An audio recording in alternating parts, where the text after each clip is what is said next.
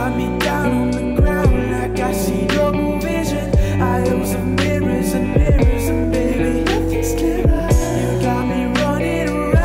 في العاب FPS مشهورة كتير زي مثلا Call of Duty أو Battlefield ولكن هنا اللعبة مش open world يعني أنت بتلعب في المكان اللي هو فيه المهمة بس. ما بيبقاش عندك أماكن مفتوحة تقدر تخشها أو تقدر تروحها زي ما أنت عايز. أما سلسلة Far Cry فهي بتجمع ما بين ال FPS وما بين ال story وال open world في لعبة واحدة. وهنا هتكلم عن الجزء الخامس اللي هو Far Cry 5 في الغالب أنا بحب أبدأ بال gameplay قبل ال story ولكن أنا هنا قررت أبدأ بال story الأول عشان مش عارف ليه الصراحه بس هي ظبطت كده معايا أحسن يعني. المهم إن اللعبة بتحكي عن شخص اسمه جوزيف سيد أو بين قوسين كده the father ودي شخصية بيدعي إن هو النبي اللي نزل في العصر الجديد وإن الرب بيكلمه وإنه معاه رسائل وإثباتات إن العالم قرب ينتهي وإن الناس لازم تآمن بيه وإن هو عايز الناس تؤمن بال Eden's Gate أو إن هم يعني بيخشوا زي الجنة أو كده ولكن بمفهومه هو. وحتى عامل كتاب اسمه The Book of Revelation وده زي كتاب كده مقدس من وجهة نظره طبعا. وهو شخص مجنون طبعا وبيستخدم العنف إن الناس تؤمن بيه بالعافية. وعلشان يقدر يحقق اللي هو بيقول عليه ده معاه ثلاث إخوات بيساعدوه. أول أخ هو جاكوب سيد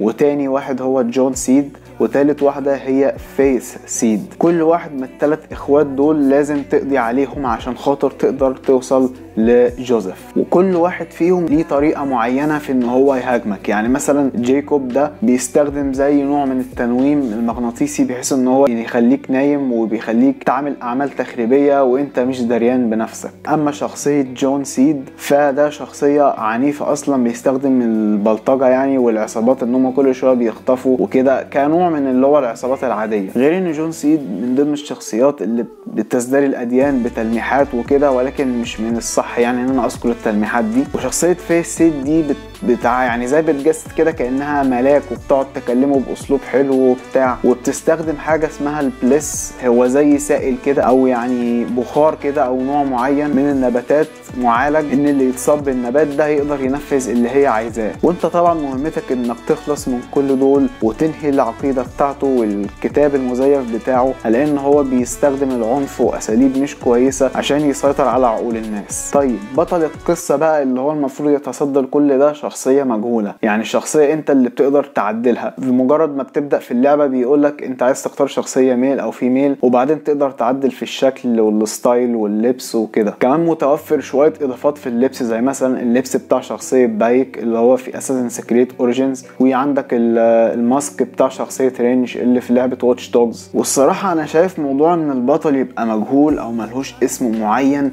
دي حاجة مش كويسة. يعني ليه ما يبقاش البطل واضح وليه اسم معين؟ كده زي Far Cry 3 و Far Cry 4 ولكن يتيح لك إنك تغير الشكل. هو طبعا أنت أصلا بتلعب FPS فأنت الشكل مش هتبقى شايف غير الجوانتي ولكن أنت في عندك photo mode بتقدر تشوف الشكل الشخصية بتاعتك وأنت بتضرب أو أنت بتلعب يعني عموما. والأغرب من كده إن المفروض إن ده البطل اللي أنقذ كل الناس اللي معاه وأنقذ كل الفريق بتاعه واخد رتبة إن هو rook أو مبتدئ يعني بيندهوه بنقوله يا rook إن هو شخص rookie مبتدئ. فوصف البطل هنا مش عاجبني الصراحة. نبدأ بقى في ال gameplay انت عندك أربع أماكن للأسلحة. انت بتبدأ بمكان أو اتنين تقريبا وبعدين بتفتح الباقي بال skills وعندك أنواع كتير من الأسلحة غير إن في كمان أسلحة ليزر نزلت وأسلحة قوية جدا وال range بتاعها عالي لدرجة إنه ممكن يوقع طيارات. ودي أسلحة جت نازلة تبع DLC أو إضافة نزلت اللعبة اللي هي Lost on Mars غير إن انت عندك شخصيات تقدر تستدعيهم في أي وقت إن هم يجوا يساعدوك في منطقة معينة. وكل شخص فيهم معاه سلاح محدد. يعني هتلاقي في شخص معاه هليكوبتر شخص معاه RPG شخص معاه sniper سهام كده يعني. مش بس كده كمان في حيوانات ممكن تساعدك زي الدب وفي في زي tiger كده. كل واحد فيهم بيساعد بطريقة معينة وبشكل معين. الناس دي عشان تفتحها كلهم مخطوفين في الثلاث جزر اللي ماسكها إخوات جوزيف. فأنت لازم تحرر الشخصيات دي أو تعمل المهمات بتاعتهم عشان خاطر ينضموا ليك. غير إن أنت عندك option إن أنت ليك ثلاث جنود ممكن تضيفهم عندك زيادة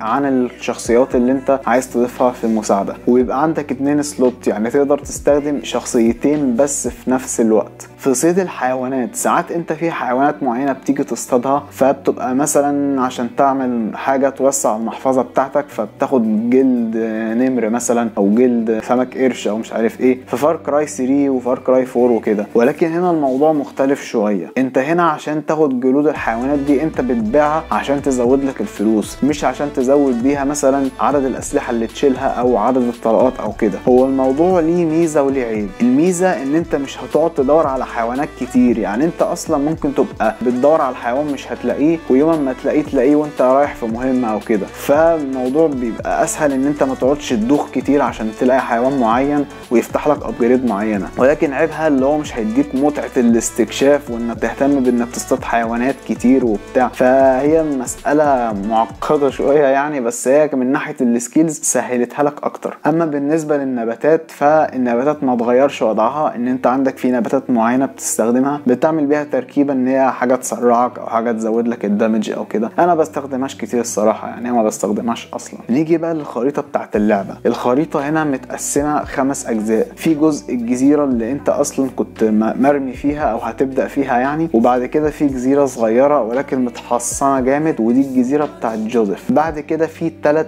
جزر كبار جدا دول بقى اللي متقسم عليهم إخوات جوزيف كلهم جيكوب وجون وفيس. الخريطة كمان شكلها بيتغير على حسب حالة الجو اللي انت فيها. يعني مثلا لو انت في الصبح بتلاقي الخريطة منورة كأنها الصبح بالليل بتلاقي الخريطة ضلمة ويعني لازم تعمل zoom أكتر عشان تشوف المكان اللي انت فيه. بالنسبة ل graphics اللعبة أنا شايف ال graphics هنا عالية في حاجات معينة.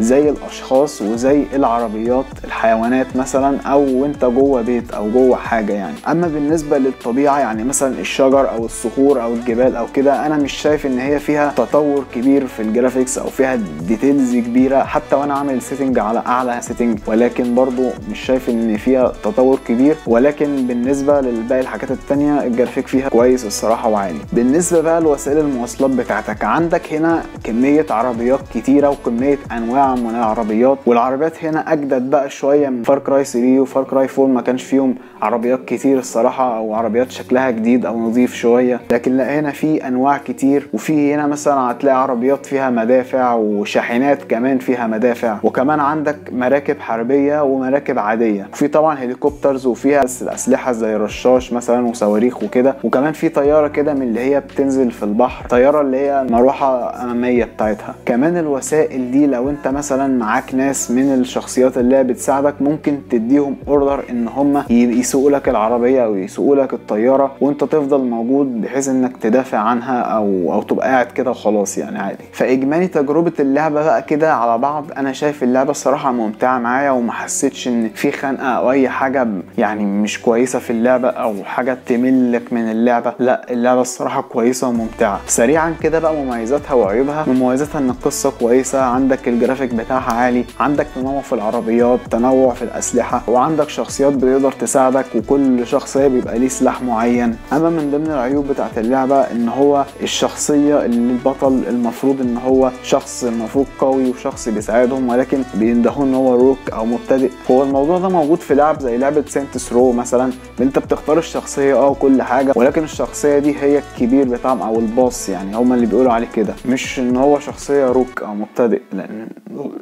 الوصف غريب الصراحة. كمان من عيوبها إن الجلود بتاعت الحيوانات اللي أنت بتجمعها بتجمعها عشان تبيعها وتاخد فلوس مش عشان تستخدمها في إنك تعلي ال slots بتاعتك أو تعمل upgrades بتاعتك. ال upgrades بتتعمل عادي بال points اللي أنت بتاخدها سواء مثلا من ال treasure maps أو الأماكن اللي فيها كنز كده في في الخريطة وال side activities وكده. دي ممكن تكون ميزة وعيب ولكن أنا شايفها عيب لأن هي ضيعت متعة إنك تصطاد حيوانات وكده. ومن ضمن العيوب كمان اللي هي نهايات اللعبة أو نهاية قصة اللعبة.